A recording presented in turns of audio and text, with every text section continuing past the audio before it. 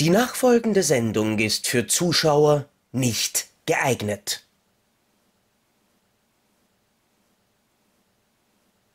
Mayday, Mayday! Toki an YouTube Hauptquartier! Mayday! Oh. Mayday! Ja, wir sind in einem grottenschlechten Intro. Was heißt, ich soll es umfliegen? Wir sind mittendrin!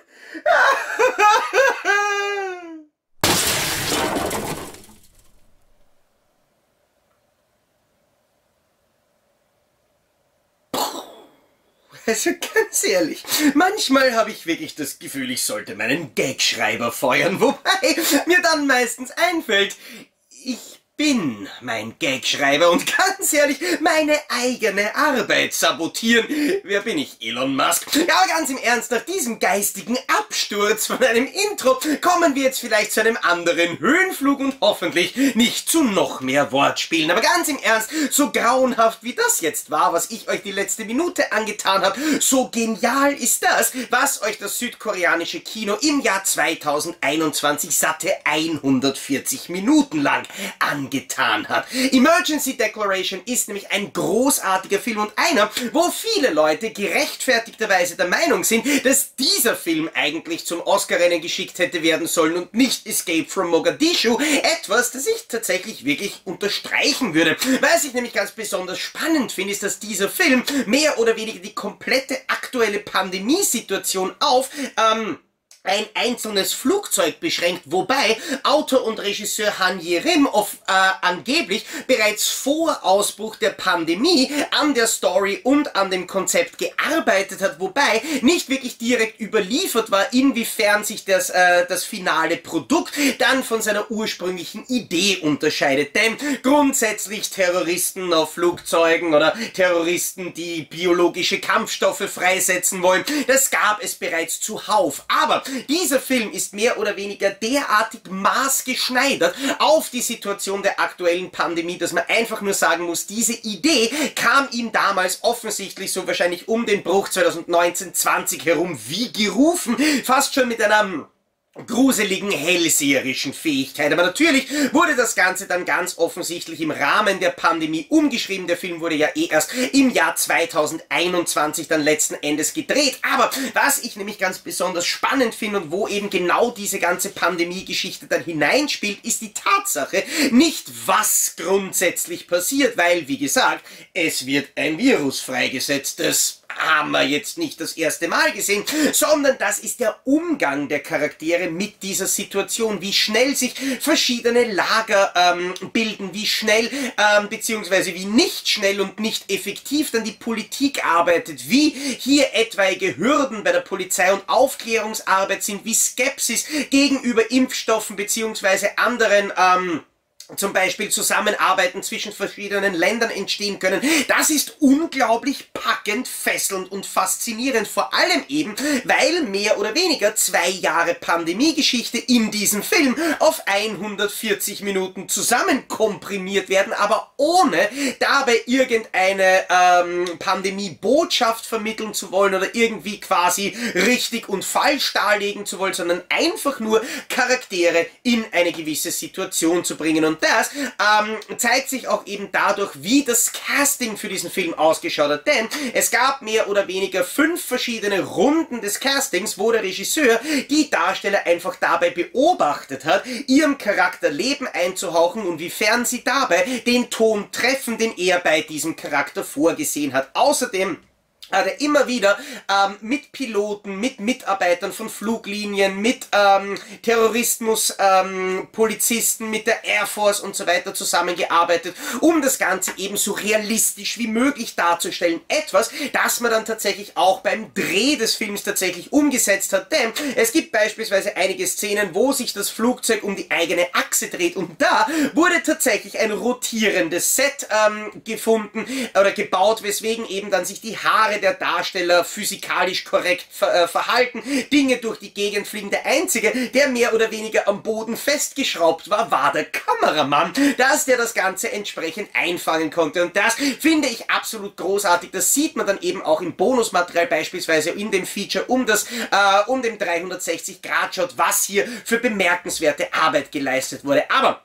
was ich bei dem Film Emergency Declaration ganz besonders packend fand, ist eben die Tatsache, dass es sich wieder mal um einen klaustrophobischen Thriller handelt, der die meiste Zeit über in einem sehr beschränkten Areal spielt und da einfach die Ängste bis hin zu Urängste von den Charakteren und Darstellern wirklich zur Schau stellt und einen als Zuschauer packt. Ich hatte über gewisse äh, Strecken wirklich das Gefühl, ich würde selbst in diesem Flugzeug sitzen, habe selbst irgendwie geschaut, ob sich da irgendwelche Puzzeln bilden und wirklich mitgefiebert, was mit diesen Charakteren pass äh, passiert. Vor allem, weil man dann doch irgendwie auch aus eigener Erfahrung weiß, in gewisser Hinsicht ist die ein oder andere Situation womöglich eh schon aussichtslos, aber man fiebert blöde Formulierung, in dem Fall halt dann trotzdem noch irgendwie mit. Emergency Declaration ist einer der spannendsten, interessantesten, aber auch aktuell politisch wichtigsten Filme, obwohl er das ursprünglich eigentlich gar nicht sein sollte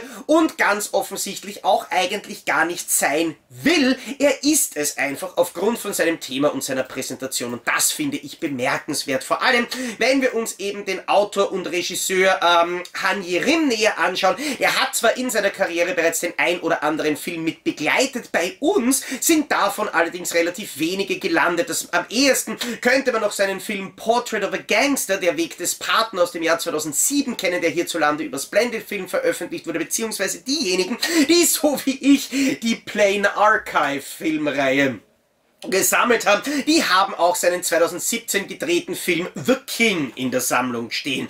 Aber was ich bei dem Film ganz besonders bemerkenswert finde, ist der großartige, hochkarätige Cast. In einer der Hauptrollen sehen wir beispielsweise Song Kang-ho, der natürlich den meisten als Key Take in Parasite in Erinnerung geblieben ist, der allerdings auch in Snowpiercer und in The Host mitgespielt hat, in Memories of, a Murder, of, of Murder und der jetzt natürlich gerade eben seine aktuellen Erfolge mit dem Film Broker feiert. Ein absolut großartiger Schauspieler, der beispielsweise schon ähm, früher in Filmen wie Symp äh, Sympathy for Mr. Vengeance, JSA, Joint Security Area oder Lady Vengeance zumindest in kleineren, kürzeren Rollen zu sehen ist. Aber was ich besonders äh, genial fand, war das Wiedersehen mit Lee Byung-hun, der natürlich den großartigen Killer bereits in dem Film I Saw the Devil gespielt hat, der aber ebenfalls in JSA und in A Bittersweet Life äh, große Rollen gespielt hat, beziehungsweise der in in dem Film The Good, The Bad, The Weird den The Bad gespielt hat, wobei äh, Song Kang-ho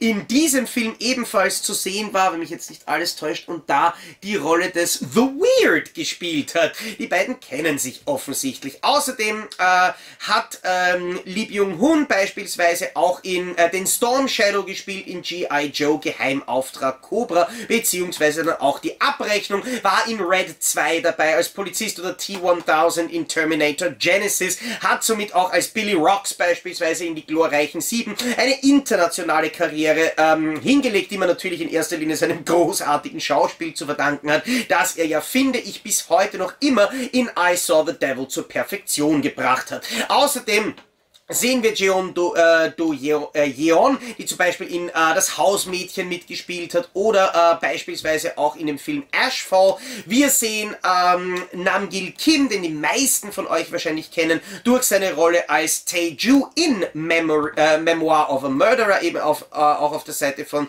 Song Kang-ho. Außerdem sehen wir Kim So-jin, die zum Beispiel eben neben äh, The King vom selben Regisseur auch als Mi Jin in dem 2014 gedrehten und von Nameless Media veröffentlichten Titel No Tears for, uh, for the Dead ebenfalls ein großartiger Film zu sehen war.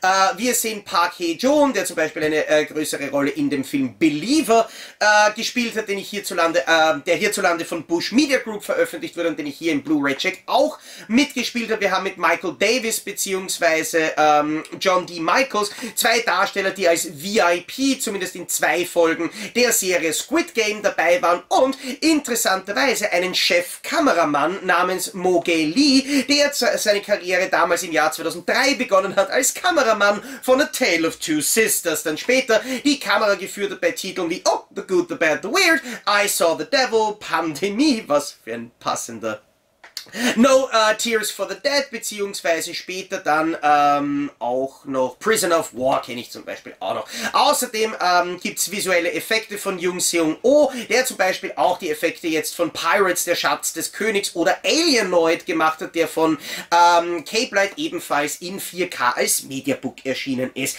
Ein interessantes, ähm, äh, äh, kompetentes Team vor und hinter der Kamera hat sich hier eben wirklich versammelt, um einen der spannendsten und interessanten Filme Filme für das eigentlich noch relativ junge Jahr 2023 zu schaffen. Play on Pictures hat sich hierzulande die Rechte an diesem Film gesichert und veröffentlicht ihn sowohl auf DVD als auch in High Definition Blu-ray als Standard Keepcase Edition beziehungsweise sogar als Blu-ray plus 4K UHD Combo Pack in einem limitierten Steelbook. Alle drei Versionen erscheinen am 23. März 2023. Mein Rezensionsmuster von der limitierten Steelbook Version hat mich bereits jetzt erreicht und deswegen freue ich ich mich drauf, mit euch in der heutigen Ausgabe von Playzuckers Blu-ray oder 4K-Check in dem Fall über das limitierte 4K UHD Steelbook von Emergency Declaration zu sprechen.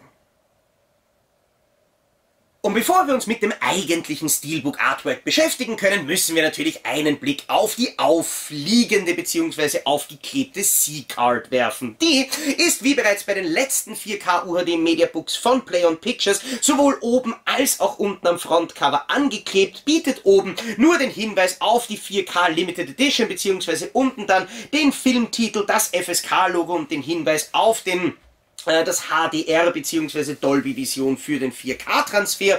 Wir können dann einmal gleich einen Blick auf das Backcover werfen. Da gibt's natürlich ein paar Hinweise zu dem Film, zu den Darstellern, dass der Film Out of Competition auch ähm, auf dem Festival von Cannes gelaufen ist. Einige wirklich sehr schöne und sehr schön montierte ähm, Zusammenstellungen von Bildausschnitten aus dem Film. Es gibt die Inhaltsangabe, die technischen Details, Cast and Crew Angaben sowie natürlich last but not least auch die Details rund ums Bonusmaterial. Und da bietet die Blu-ray zwar einige nur relativ kurze Featurettes und Clips, so dauert das Making-of beispielsweise nur 6 Minuten, Interviews dauern 3 Minuten, das 360-Shot-Feature dauert 3 Minuten, aber es bietet trotzdem einen ganz, ganz kurzen, teilweise auch etwas B-Roll-haften ähm, Look hinter die Kulissen, was eben gerade gerade beispielsweise bei dieser 360-Grad-Aufnahme durchaus interessant ist, beziehungsweise vielleicht auch ein paar menschlichere Blicke auf die Leute, die hinter ähm, der Produktion von dem Film stecken, dann in dem Feature rund um die Cannes Weltpremiere. Da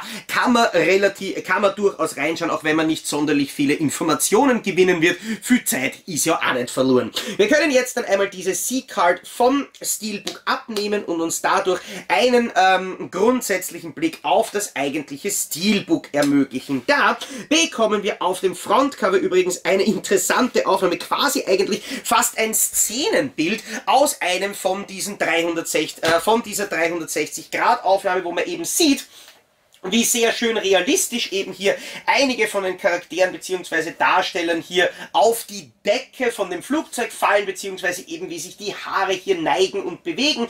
Dabei finde ich, ist dieses Motiv auch für das Steelbook ganz nett inszeniert worden. Wir sehen nämlich eben beispielsweise bei den Lichtern auf, dem, äh, auf der Decke von dem Flugzeug hier das, den metallischen Steelbook-Effekt ein bisschen durchscheinen, beziehungsweise auch auf der rechten unteren Seite bei dem Emergency Declaration Schriftzug ist eben dasselbe, dasselbe Bildelement zum Einsatz gekommen. Das ist, wie ich finde, ein sehr ähm, interessant und sehr gut aufgebautes Steelbook-Motiv, vor allem, weil es eben ein Steelbook ist, das nicht eins zu eins ähm, Standardware ist, so wie man es eben quasi von vielen, vielen anderen Steelbooks kennt. Trotzdem ist es ein grundsätzlich relativ dunkles Steelbook, das eben vor allem hier im linken oberen Bereich nicht unbedingt extrem stark durchzeichnet ist. Es ist übrigens interessanterweise auch ein Steelbook, das nicht ausschließlich im deutschsprachigen Raum erscheint. Es gibt eben beispielsweise auch ähm, in Italien eine ähm, Steelbook-Version mit dem gleichen Cover-Artwork.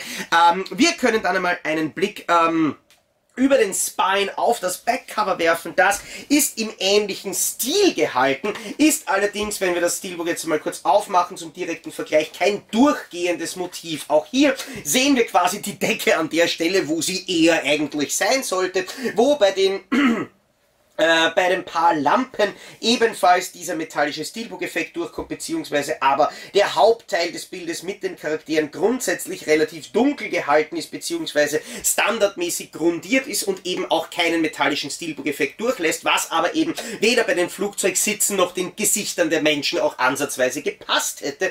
Dafür finde ich, ist das ein sehr schönes, sattes Bild, das aber eben gerade diese panischen Gesichtsausdrücke von den im Film vorkommenden Personen sehr schön darstellt. Jetzt Jetzt können wir da mal einen Blick ins Innere von diesem äh, Steelbook werfen. Da sei an dieser Stelle äh, gleich einmal gesagt, dass dieses, ähm, dass diese Discs mit einem FSK, äh, mit einer FSK-Freigabe ab 12 Jahren bedruckt sind. Das ist allerdings nicht korrekt. Der Film hat von der FSK eine Altersfreigabe ab 16 Jahren erhalten. Die ist eben auch korrektermaßen außen auf dem Steelbook angebracht. Das heißt, es kann sein, dass das nur bei einer geringen Auflage der Fall ist, beziehungsweise zumindest spätere Nachproduktionen werden dann dann denke ich mit der richtigen Altersfreigabe ausgestattet sein. Wir bekommen hier auf dem, ähm, auf dem Disc-Cover von der 4K UHD eben beispielsweise ähm, den einen Blick auf Song Kang Ho. Das ist übrigens dasselbe Bild, das eben zum Beispiel auch kleiner und unten auf dem Standard Keepcase Cover zu sehen ist, beziehungsweise im Menü von der Disc,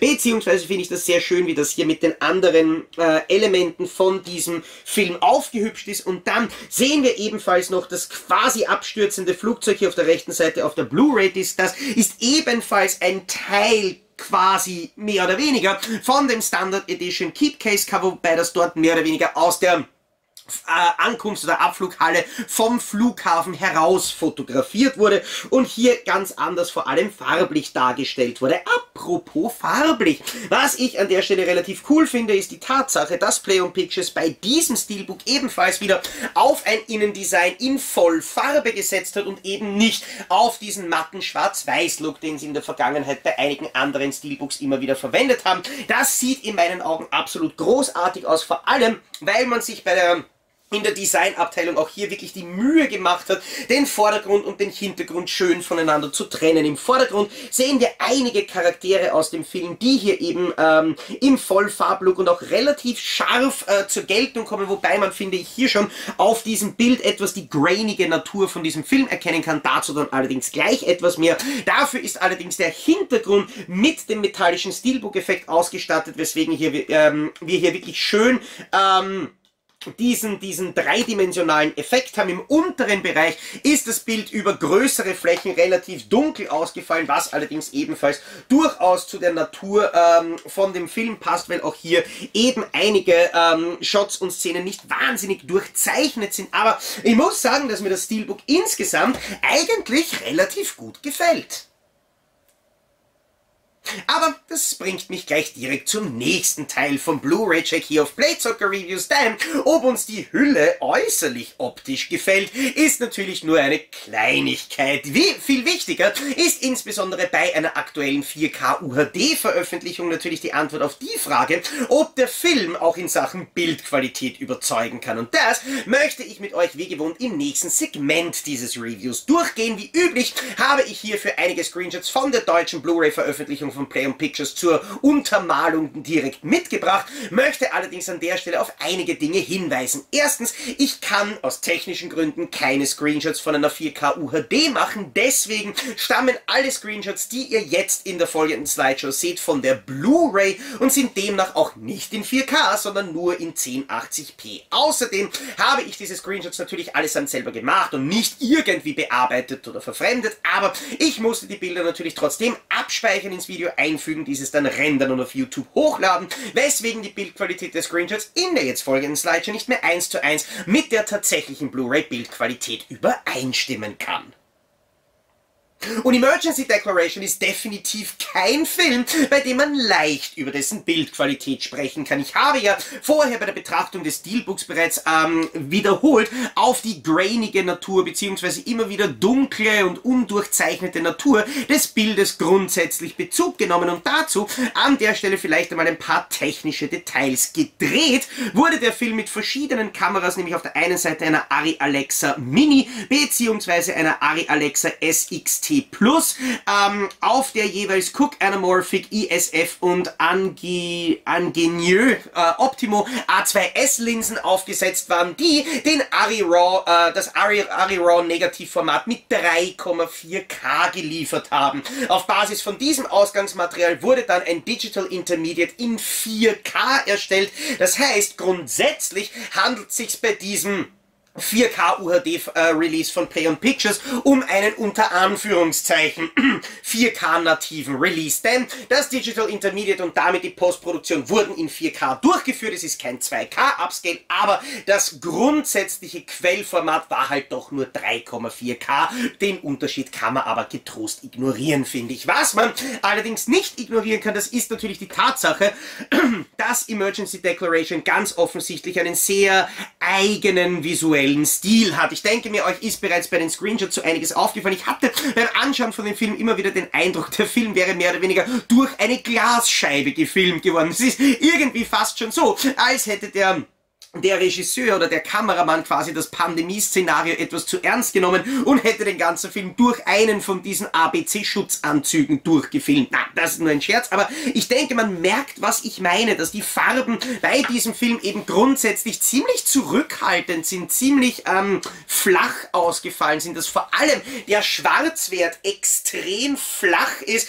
dass es eben kaum sattes Schwarz gibt, dass das Ganze eigentlich eher in einem hellen bis mittelgrauen Matsch untergeht und dass das Bild tatsächlich aber auch von seiner Bildschärfe her nicht unbedingt wahnsinnig überzeugen kann. Das ist ein Eindruck, der natürlich neben der Blu-ray auch bei der 4K UHD besteht, wobei, wenn ich auf meinem Fernseher die beiden Medien miteinander vergleiche, dann ist trotzdem die 4K UHD mit einigen bildtechnischen Vorteilen ausgestattet, weil der Film natürlich mit seiner äh, mit seinen 140 Minuten Laufzeit relativ lang ist, kommt die Blu-ray äh, datentechnisch bereits ein bisschen an ihre Grenzen. Äh, der Encoder hat äh, dem Bild zwar 40,4 Gigabyte auf der Disk ähm, äh, zur Verfügung gestellt, trotzdem ist zwischen dem relativ intensiven digitalen Filmgrain die äh, Kompression relativ deutlich zu sehen, insbesondere natürlich in den dunkleren Szenen beziehungsweise dunkleren Bildbereichen. Da arbeitet die UHD wesentlich sauber sauberer da, hat der Film nämlich 83,2 Gigabyte zu seiner Verfügung.